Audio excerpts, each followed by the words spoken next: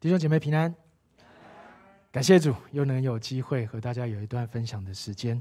哇，这刚刚有一阵大雨，刚好我们唱到圣灵的歌，期待圣灵也像这雨一样落下。接下来就是暑假了，对不对？我相信对于一些从事教职或者是还在学生身份的弟兄姐妹来说，应该是一个还不错的时间，可以好好的休整一下自己，对不对？但是对于一些弟兄姐妹来说，可能这也是一个比较困扰的时候。我记得我还在呃大学以前的时候，嗯，我大概只有前一个礼拜是觉得过暑假是很开心的事情。然后超过一个礼拜以后，我就会开始觉得哇，真的好像有点无聊哎，因为我住的离其他人可能也比较远，所以不大会去拜访其他同学，其他同学不会来我们家，所以自己就只能跟自己过。我记得那时候我妈妈常常，嗯，不确定她是请假还是翘班，但是她就是会抽空。但她就是会抽空，就是回到家，就是陪我们去走走啊，去做点什么啊，或者是帮我们送午餐。那我相信妈妈她一定也有她很忙的时候，但是还要分出这个时间来照顾我们这孩子。我相信对于现在一些弟兄姐妹来说，可能也有相同的呃甜蜜的负担。我自己啊，是真的很喜欢在放假的时候做点自己的休闲，其中有一个休闲。我可能在先前有提过，就是打电动。我真的是一个很喜欢打电动的人。那我打电动的时候啊，尤其有一种类型的游戏是我最喜欢的，那叫做角色扮演。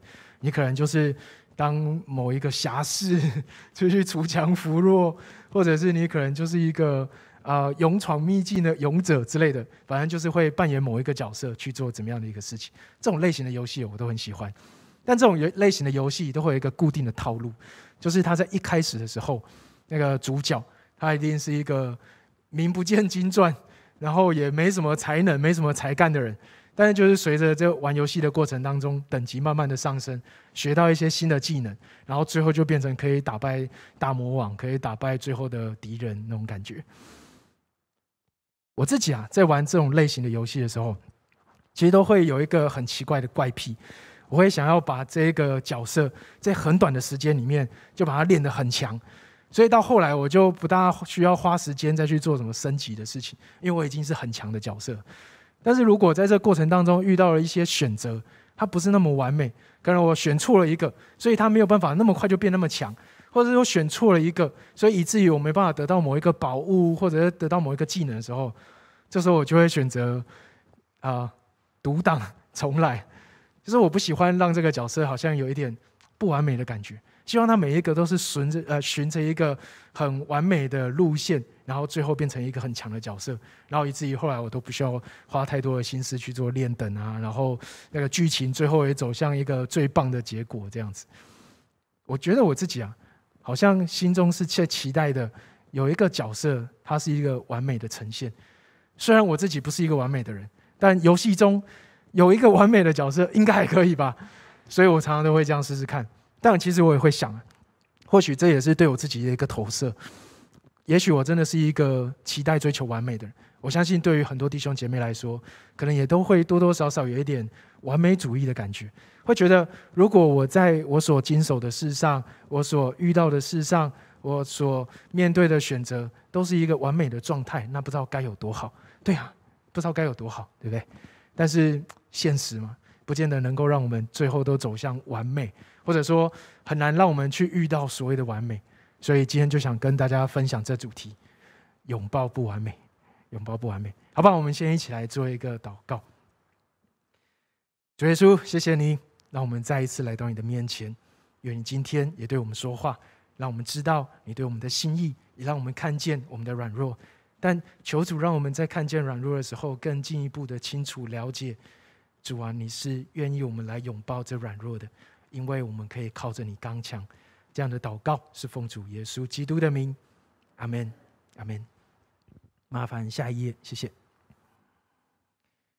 在提到这不完美的时候啊，其实都会让我想到保罗的这一段话。这刚刚我们在唱诗歌的时候，诗尧哥也有提到，这是在哥林多后书里面所提到的这一段经节提到，他对我说：“我的恩典是够你用的，因为我的能力是在人的软弱上显得完全，所以我更喜欢夸自己的软弱，好叫基督的能力复庇我。”这是有前提的。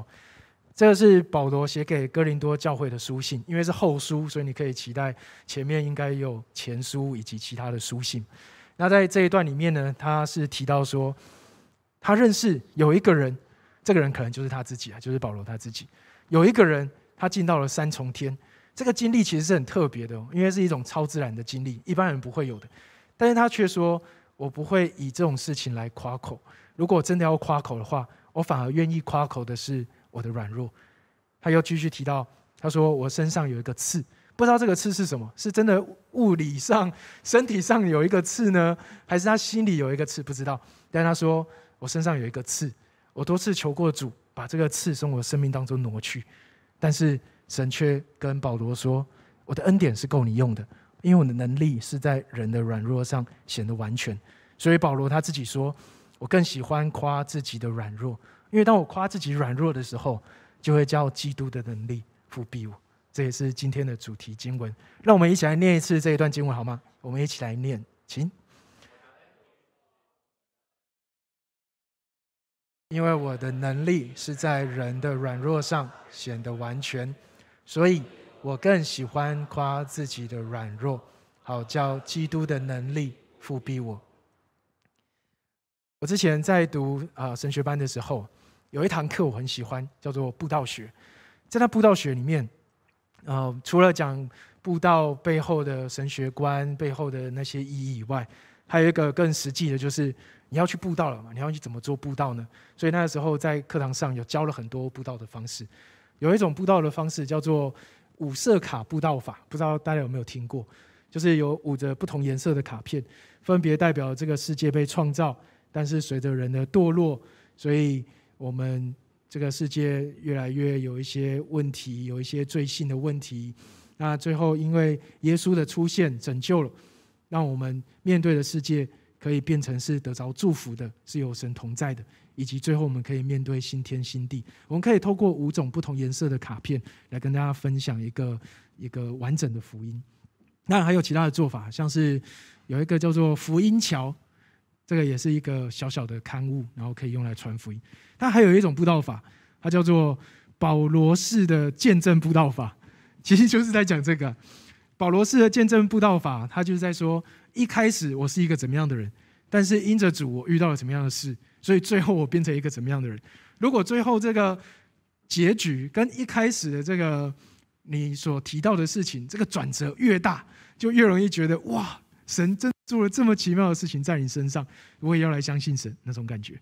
所以我们那时候常常都会试着用保罗式布道法来讲自己的见证。我相信现在应该有很多弟兄姐妹在描述自己见证的时候，也会用类似的做法来说明。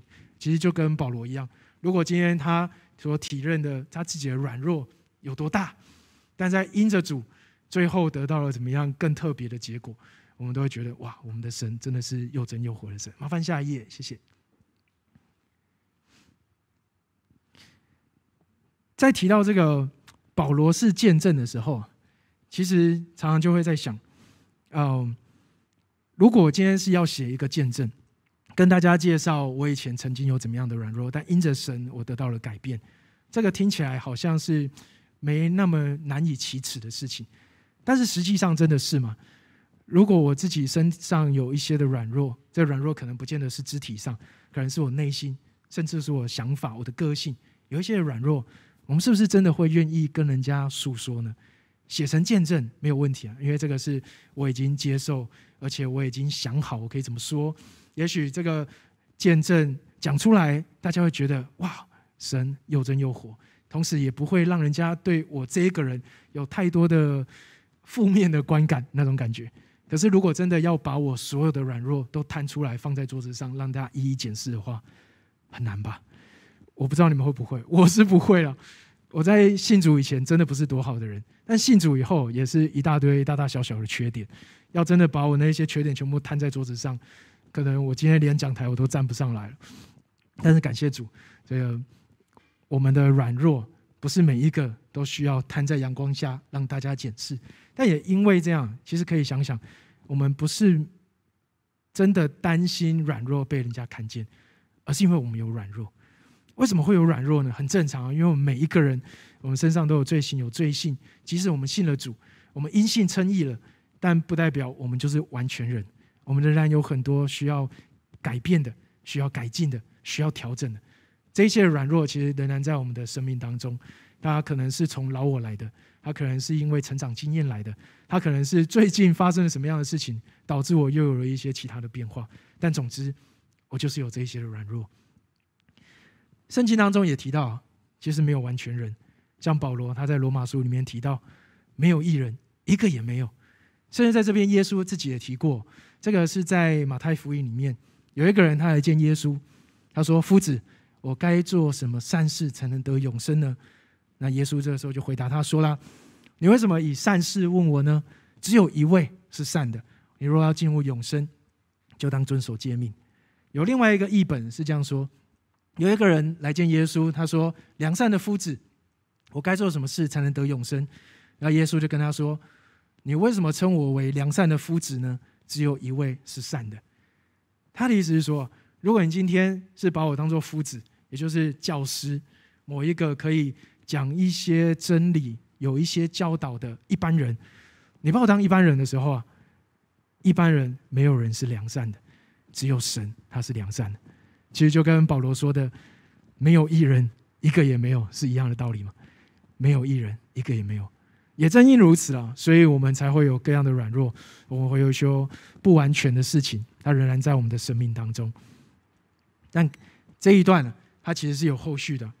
他继续说了，保罗问他说：“呃，那个耶稣就问他说，那你如果要得这完全人的话？”那你若要得永生的话，你要遵守诫命，就是不可杀人、不可奸淫、不可偷盗那一些记录在十诫里面的东西。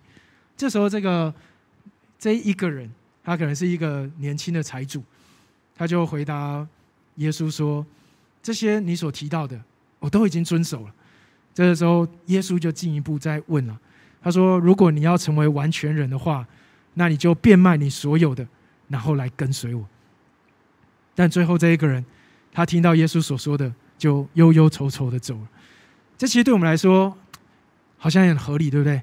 先想想哦，对于这一个人来说，他已经守了那些的诫命，所以你可以想象，他一定是了解圣经里面所提到那些应该要守住的东西，无论是从十诫，或者到于可能立位记里面所提到的那许多的规条，这些他都清楚，所以他说这些我都守住了。可是，当耶稣提出一个更大的挑战，你是否愿意变卖你所有的来跟随我的时候，他却忧忧愁愁的走了。他仍然有一个软肋，这软肋可能是他放不下他的钱，那软肋可能是他放不下没有凭着理性去跟随一个人。哎，或许真的是哦，因为这个时候的耶稣对他来说还只是个夫子嘛，他不见得真的觉得耶稣是神。那你要我跟着某一个夫子？变卖一切，然后跟着你走，好像有点困难，所以他就忧忧愁愁的走。每一个人都会有我们的软弱，每一个人的可能都不一样。相信你跟我的应该也都不一样。我可能在乎的是钱，有人真的不在乎钱，但是他可能更在乎其他他所在意的事情。这可能都会成为我们被这辖制的东西。下一页麻烦。但每一个人的软弱，在神的面前，都是可以被解决的，就像。耶稣在看到那刚刚那一个人忧忧愁愁的走了之后，他就跟他的门徒说：“这富人要进，富人就有钱人了。富人要进神的国，就比那骆驼穿过针眼还要难。”那其他人就问他说啦：“哇，那有钱人不就都没有办法进天国了吗？”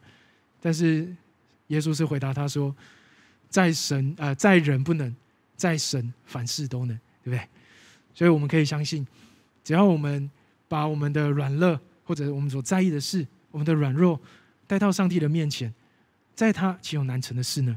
在他总会带领我们看见一个更美好的未来。但是要成为一个更美好的人，或者要成为一个完全人，真的不是容易的事。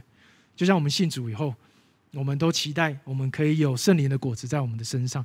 圣灵的果子有九样，这是在加拉太书里面写的很清楚。他说有仁爱、喜乐、和平、忍耐、恩慈、良善、信实、温柔、节制。这样的事没有法律可以禁止，对，没有法律可以禁止，但是我们也做不出来。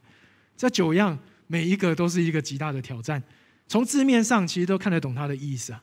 这个仁爱、喜乐、和平，全部都不用人家解释就可以知道它的意思。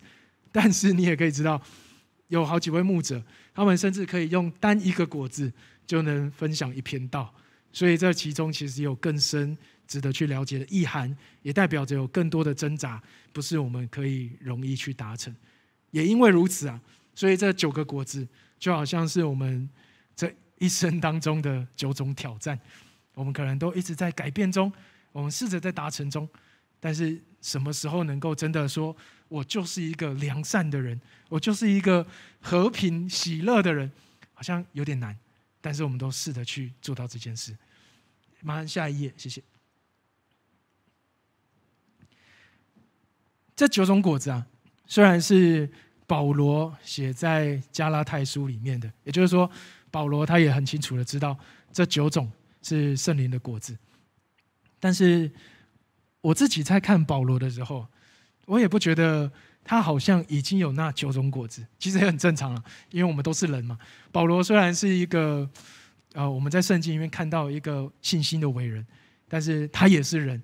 他也仍然有他改变中、努力中的事情，所以我在看，尤其是《使徒行传》的时候，会觉得好像他有做了一些的事情，会让我觉得九种果子，也许我们都还需要更加的努力。但保罗他并不是一个普通人呢，像保罗他在写一封书信《菲利比书》给菲利比教会的时候，他观察到一个现象，他说有一些人，他们可能是以色列人，他可能是希伯来人。他们进到了教会里，看见大家只相信耶稣，然后因着耶稣的信，呃，因着对耶稣的信而称义。他们说：“没有，没有，不是这样的。如果你们要成为完全人，不只要相信耶稣，你还要像我们希伯来人一样，我们要有割礼，我们要守节期，我们要守律法，我们还有很多的事情。这样子，你才可以成为完全人。”保罗啊，他就是在这菲利比书里面跟大家提醒。不要听这些人的话，这些人他们自称是以色列人，是希伯来人，是不是我还不知道。但我跟你讲，我更是。他说我在第八天的时候就受割礼，意思就是说我从我爸爸妈妈就是希伯来人，而且我们守希伯来的律法。然后说，你看我是以色列族便雅敏支派的人，是希伯来人所生的希伯来人。真的要追，你看我的族谱也都追得到，我是便雅敏人哦。就律法上来说，我是个法利赛人。如果你要说圣经里面所提到那些律法，我全部都知道，我全部都清楚。所以我就像法利赛人那样，是熟读律法的，并且就热心来说，我是逼迫教会的。因为那个时候我还不信，我还不认识耶稣。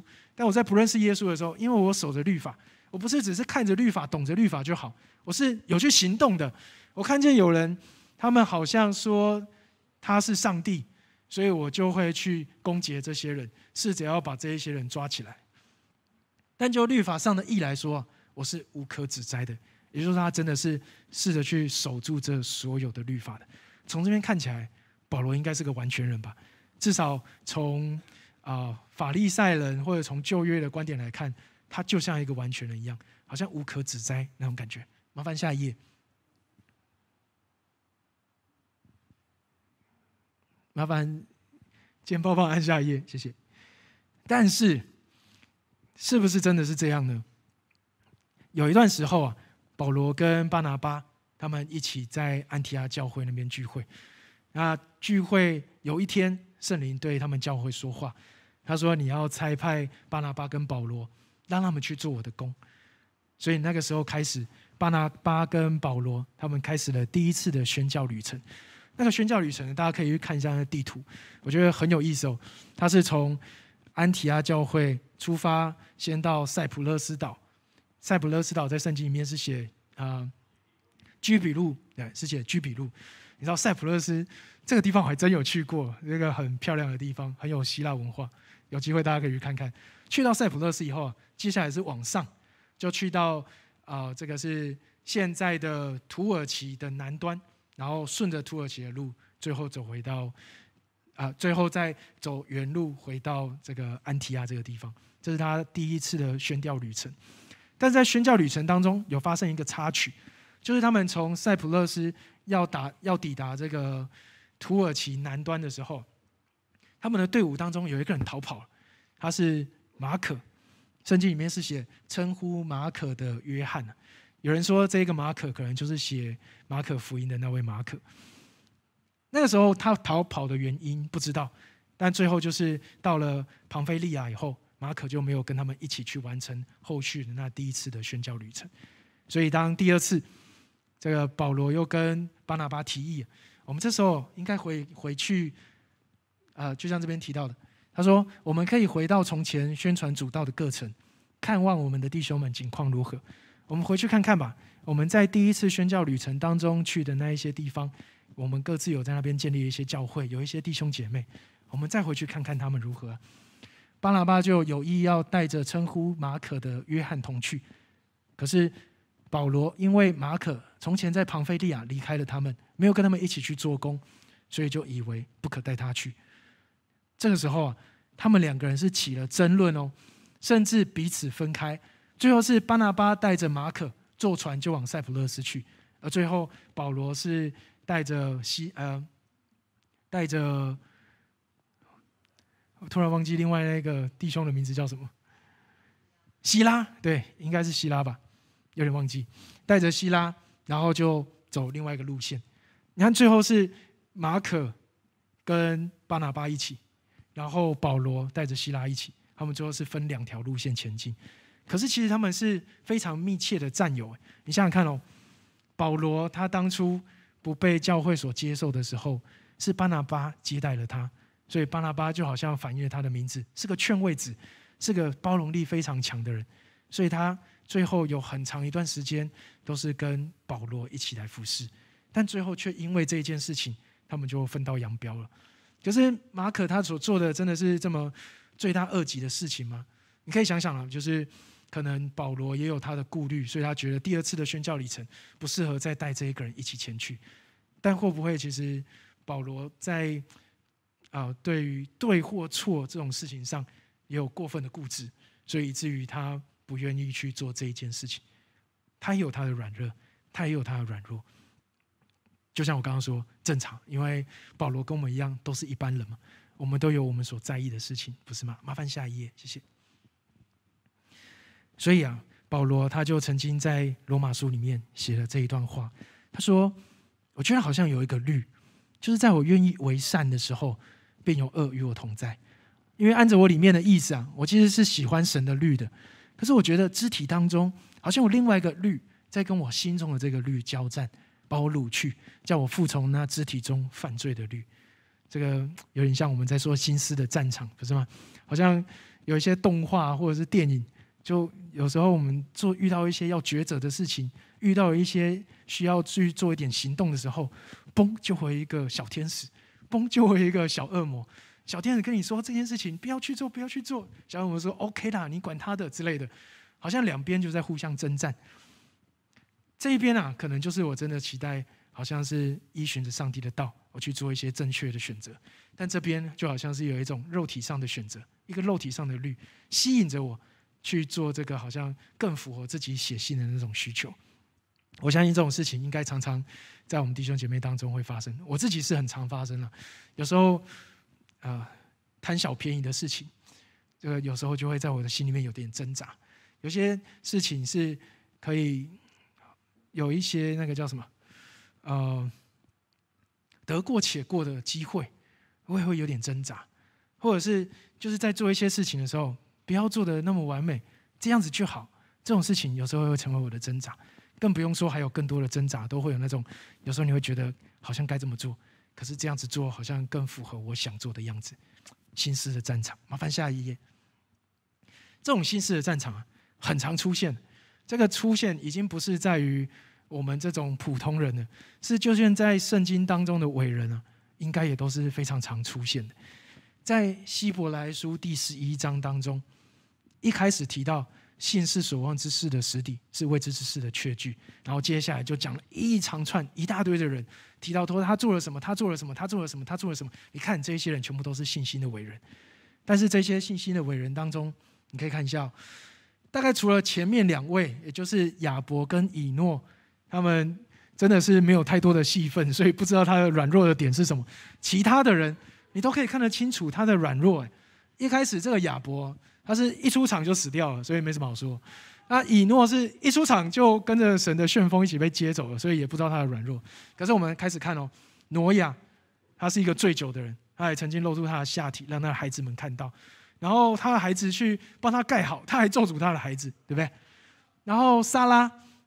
萨拉神跟他说：“你接下来你还要再生一个孩子。”他说：“哇，我都几岁了呢，还生？”他还偷笑。神说：“你就是偷笑了。”他说：“还不承认，看偷笑还不承认。”还有以撒，以撒他就跟他的爸爸亚伯拉罕一样。那亚伯拉罕呢，是他去到外地的时候，有两次他跟他的太太说：“哎，你就说你是我的妹子，哎，不要说是我的太太。”免得人家想要你的时候，先把我杀掉，然后再来找你。所以你就说妹子就好。这个以撒遗传他父亲遗传的很好，他也跟他的太太说过一样的事情。在雅各，雅各就是就像他的名字一样，就是抓嘛，一直是在试着要抓更多的东西。然后还有他的孩子约瑟，然后约瑟他曾经做了个梦。然后就跟他的哥哥们说：“你看，我看见太阳、月亮，还有那十一个星星，呃，十个星星，全部都向我下拜。”他说：“哇，你这个人太不会看眼色了吧，对不对？”再来，还有很多哦，像是摩西，他是个杀人犯，所以他才会逃到外地去嘛。然后以色列人走在那旷野的时候，抱怨可多了。拉合他一开始就是个妓女，然后基甸他有一大堆的妻子，所以他才会生了一大堆的孩子。巴拉可能大家对这个名字比较陌生，但是说到底波拉，大家应该就很熟悉了吧？底波拉那位女先知，巴拉就是同期跟他一起出现的。底波拉就是跟巴拉说：“你去跟他们征战。”然后巴拉就跟他说：“我怕，你跟我一起去好不好？”所以你看，他其实也不是一个真的那么有信心的人。但再看参孙，你看参孙，他是一个虽然有力气，但是恣意妄为的人。耶夫他，他学会帮人去做献祭，还有大卫，还有后面。其实每一个人都有各自的问题，所以虽然这些都是信心的伟人，虽然这些都在圣经上记他一笔，甚至是在这个希伯来书里面是把它当做一个我们可以参考的典范，但实际上我们回去看他的故事，没有一个完全人，一个也没有。麻烦下一页，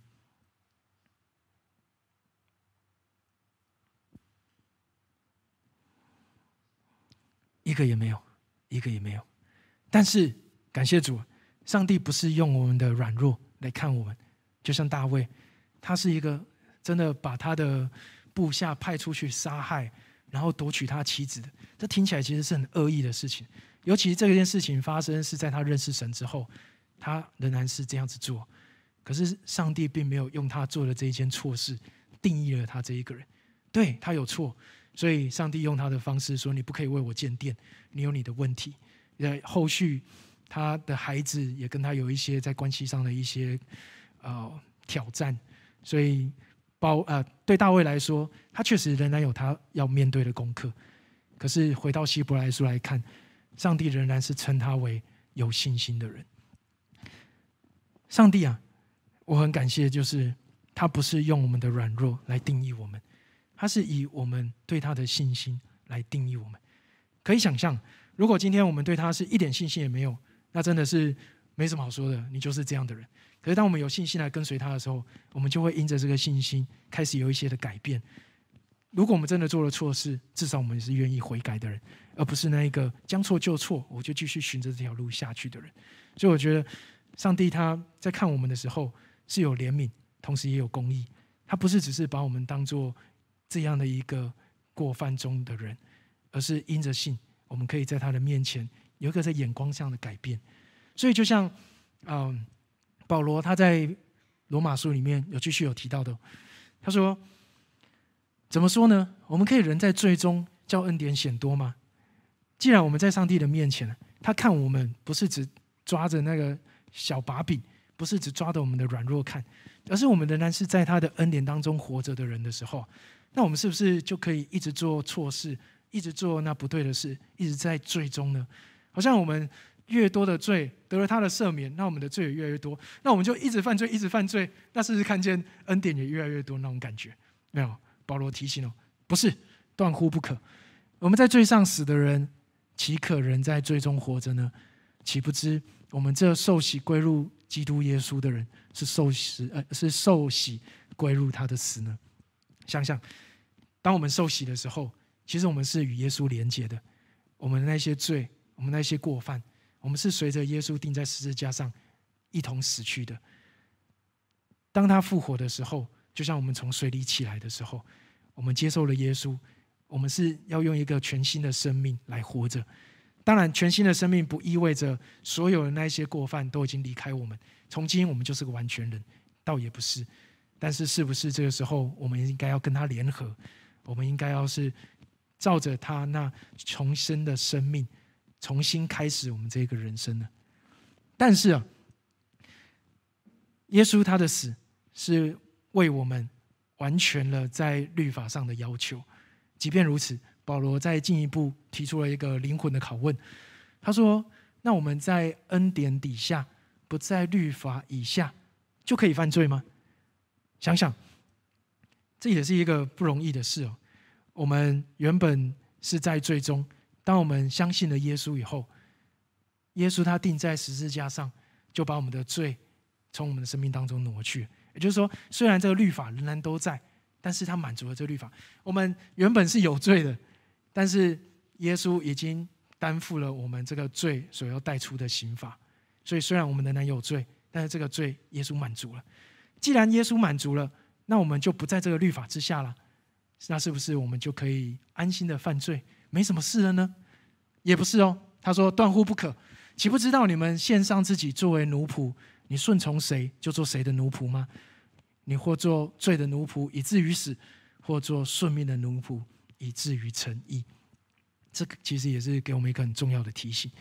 我们原本是在罪里面，所以我们要去满足的是在律法上的要求。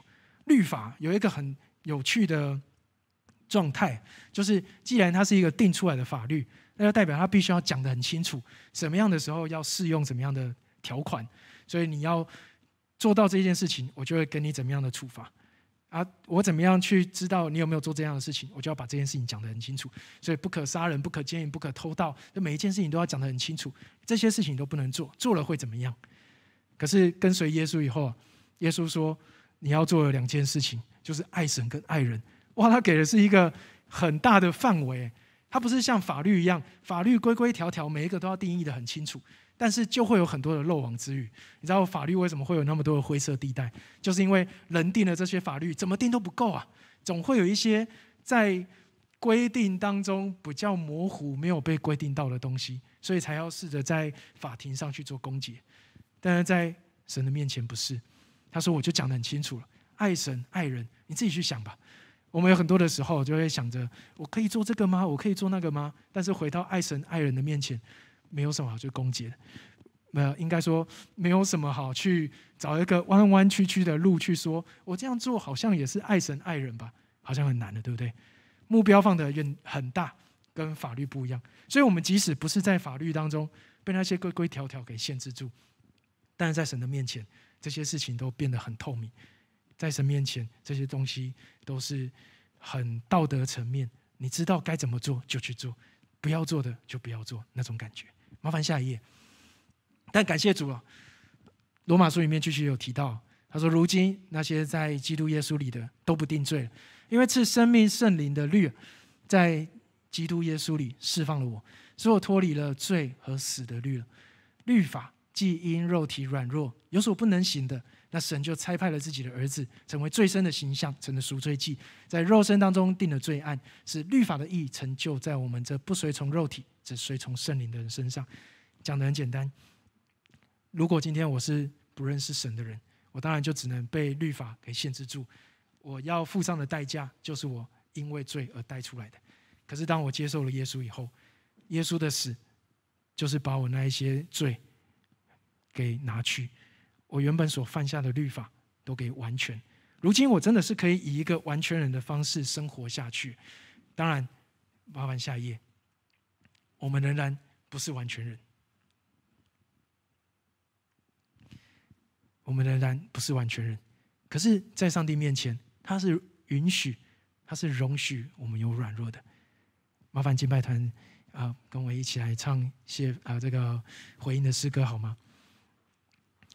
我们在神的面前啊，很感谢他的是，他并不是定睛在我们的软弱上，他不是只看着我们做错的事上，而是当我们愿意接受他以后，我们是在他的面前成为那啊。不完全的艺人，他是容许我们有一些软弱的，但同时，他也期待我们，我们应该要是继续追寻着他来前进。我们有一个全新的生命，所以我们可以有一个全新的个性，我们也可以可以有一个全新的方向，甚至圣灵也会来调整我们的心。